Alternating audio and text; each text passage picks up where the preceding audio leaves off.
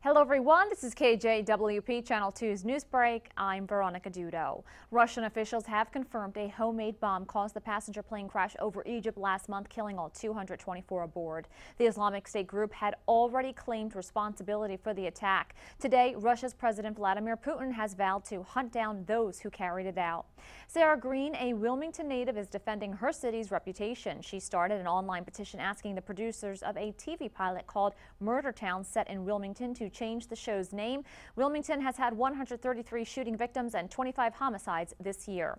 Republican leaders have called for a pause in resettling Syrian refugees until the nation comes up with a better process for ensuring that terrorists do not use the program to sneak into the country. Legislation is expected later this week. For more on these stories, visit DelawareOnline.com.